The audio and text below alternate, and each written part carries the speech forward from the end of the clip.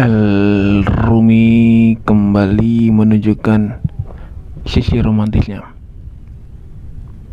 Kali ini kabar manis datang dari Sandy Mama Siva yang membocorkan bahwa El secara diam-diam mengirimkan makanan spesial untuk Siva yang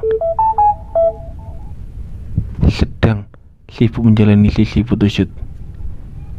Aksi manis El ini tentunya membuat para penggemar pasangan ini semakin gemas. Menurut cerita dari Mama Siva, makanan tersebut dikirim tepat saat Siva sedang beristirahat di tengah photoshoot yang padat. Tiba-tiba ada kurir datang bawa makanan. Ternyata dari El. Siva senang banget. Langsung bilang terima kasih.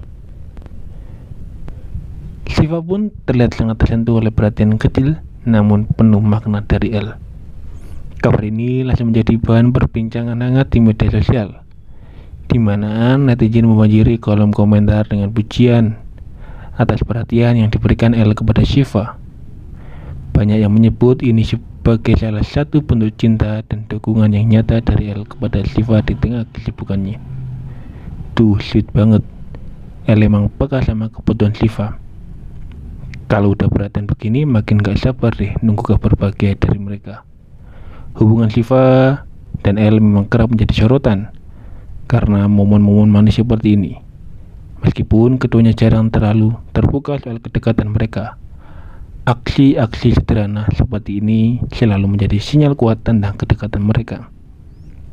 Para penggemar semakin berharap hubungan keduanya akan terus berkembang dan membawa kabar baik di masa depan. Kita tunggu saja kejutan romantis lainnya dari El dan Shiva.